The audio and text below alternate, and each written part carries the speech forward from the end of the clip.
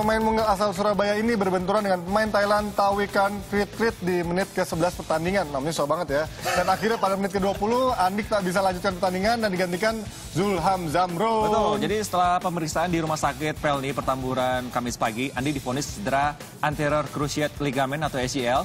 Nah, cedera ACL ini berarti urat yang menjaga kestabilan sendi lutut Andik ini robek ya. Nah, hasilnya istirahat tidak bermain selama tiga pekan sampai enam minggu.